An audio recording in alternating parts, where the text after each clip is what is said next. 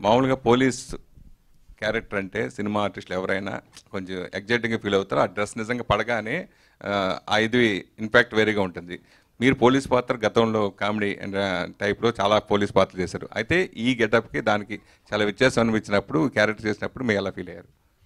ఏం లేదండి. అంటే ఇప్పుడు నేను బ్లేడ్ బాబ్జీ కితకథలు ఇలాంటి సినిమాల్లో అంటే పోలీస్ యూనిఫామ్ వేసుకున్న అన్ని సినిమాలు ఇట్టానంటే సెంటిమెంట్ కదా కలిసి వచ్చింది అనుకోండి.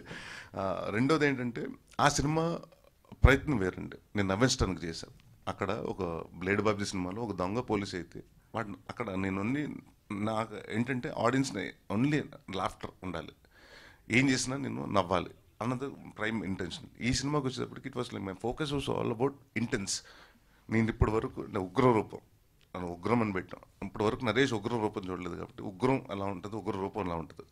సో అది కొత్తగా ఉంటుందని చాలా సిన్సియర్గా అంటే ఐ డెంట్ డూ ఎనీథింగ్ అంటే నేను పెద్ద హోంవర్క్లు చేయలేదు దీనికోసం. ఆయన చెప్పారు వెంకట్ గారు మొత్తం నాకు వచ్చి డేటా మొత్తం ఇచ్చారు. ఇలా ఉంటుంది సార్ ఇలా ఉంటుందని సో దాంతో మనం ఒక ఒక ఫామ్ చేసుకున్న తర్వాత అంటే ఒక ఎమోషన్ సీన్ పేపర్ చదువుకున్నప్పుడు ఓకే వీడు ఇలా ఉంటాడు ఇలా ఇలా బిహేవ్ చేస్తాడు అని ఫిక్స్ అయిపోయాను మామూలుగా జనరల్గా కొన్ని కొన్ని ఆర్టిస్టులకి కొంతమంది కంఫర్టబుల్గా ఫీల్ అవుతారు. టైమింగ్స్లో కానీ ఇట్లా. ఎస్పెషల్లీ ఈ సినిమాకి దాదాపు యాభై రోజులు రాత్రులే వర్క్ చేశారు. మనం కొంతమంది కొంచెం నైట్ వర్క్ చేస్తే చాలా ఇష్టపడతాం. అట్లా. సో అలాగే ఈ సినిమాకి నైట్ ఎఫెక్ట్స్ వల్ల మీరు ఆర్టిస్టులు చేసిన యాభై రోజులు నైట్ డేస్ అయితే రీ రికార్డింగ్ ఇందాక విజయ్ చెప్పాడు. ఎనభై రోజులు నేను రాత్రులు re recording post production work చేశానని చెప్పారు. సో ఆ నైట్లు చేయడం వల్ల మీరు హ్యాపీ పోయారా డైరెక్టర్ విషయంలో? అంటే కథ రాసుకున్నప్పుడే ఫస్ట్ నుంచి ఎందుకంటే మిస్సింగ్ మేము ఓపెన్గా చెప్పేస్తానండి. ఇట్స్ ఓపెన్ బుక్ మీరు ట్రైలర్ సినిమా ట్రైలర్ చూస్తే అక్కడ కింద అన్ని క్లియర్గా రాసింది గంటకి ఎనభై ఎనిమిది మంది రోజుకి ఇంతమంది మిస్ అవుతున్నారని చెప్పాను. సో మిస్సింగ్స్ ఇప్పుడు జరుగుతాయండి. నైట్ టైంలో జరుగుతాయి. సో ఇన్వెస్టిగేషన్ చేసిన వాళ్ళని పట్టుకోవాలని ఇప్పుడు చేస్తారండి. ఆ టైంలోనే చేస్తారు. సో అందుకుని కథకి సంబంధించింది వచ్చింది కాబట్టి అండి. అంతకు ఈయన ఊరికే ఏసీ రూమ్లోకి వచ్చిన నాకు ఓకే పొద్దున ఎండ వద్దు నాకు సంటాన్ అయిపోతాను అని అనుకోలేదండి. ఆయన పాపం జెన్యున్గా కథలు అనుకున్నప్పుడు ఎమోషన్ అంటే రాసుకున్నప్పుడు ఇది నైట్స్లో జరుగుతుంది ఎందుకంటే ఇన్వెస్టిగేషన్ ఈ ప్లాట్ తీసినప్పుడు కానివ్వండి ఇంక్లూడింగ్ సిద్ధు కూడా చెప్పండి నాకు నైట్లు చేస్తే సార్ ఇది కొంచెం కొత్తగా ఉంటుంది ఆర్గానిక్గా ఉంటుంది. అంటే రోడ్లు ఖాళీగా ఉంటుంది ప్రశాంతంగా ఉంటుంది. దాంట్లో మిస్సింగ్లు చూపిస్తే బాగుంటుంది.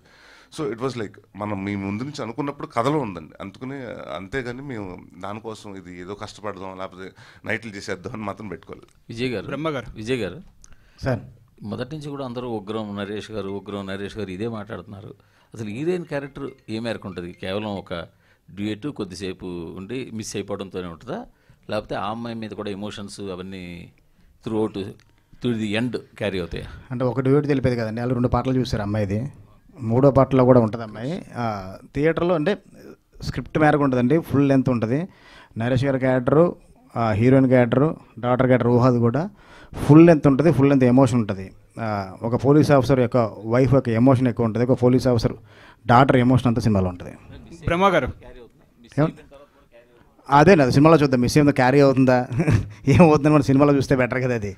లవ్ స్టోరీ ఒక బ్యూటిఫుల్ లవ్ స్టోరీ ఉంటుంది ఒక ఫ్యామిలీ డ్రామా ఉంటుంది అన్నీ ఉంటాయి. బ్రహ్మగారు వాళ్ళు ఎప్పుడు మిస్ అవుతారంటే మీకు తెలియదు కదా ఏంటన్నది అందువల్ల సినిమా అంతా ఉంటుందని మీకు డౌట్ ఉంది. సినిమా చూస్తే సినిమాలో ఏ పాయింట్లో మిస్ అయింది సినిమా అంతా ఉంటుందో అర్థం